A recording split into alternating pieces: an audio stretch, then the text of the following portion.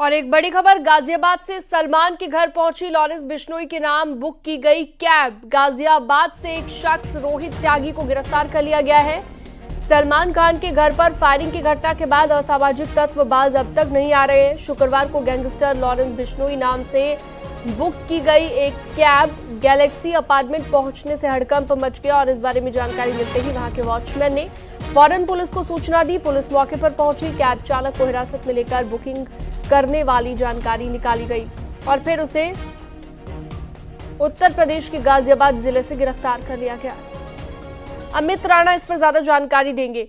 अमित, क्या ये पूरा घटनाक्रम हुआ है? जरा विस्तार से बताइए कि लॉरेंस बिश्नोई नाम से बुक की गई कैब सलमान के घर पर पहुँची और कुछ ही दिन पहले हमने देखा कि हमला भी वहाँ पर किया गया था। एक तरीके से फायरिंग की घटना भी सामने आई थी।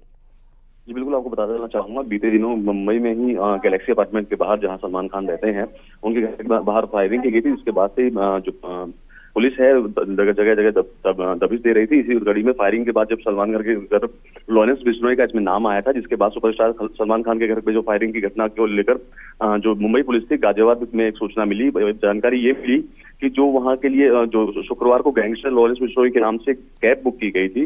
जो कैब बुक की गई थी, वो जो गाजियाबाद का ही रहने वाला व्यक्ति है, उसने यहाँ का रहने वाला व्यक्ति बताया जा रहा है, जिसको कि पुलिस ने गिरफ़्तार भी कर लिया है। और गरीब, ये बताई जा रही है कि रोहित त्यागी नाम का शख्स है, जिसकी उम्र तकरीबन बीस साल बताई जा रही है। इसी ने वो कैब बुक की थी। गाजियाबाद पहुँची, मुंबई पुलिस ने उसे गिरफ़्तार किया और अपने साथ ले गई और पूछताछ उसके साथ जारी है। ठीक है। बहुत शुक्रिया तमाम जानकारी विस्तार से देने के लिए, अमित। और वक्त एक छोटे से ब्रेक का है जल्द लौटते हैं।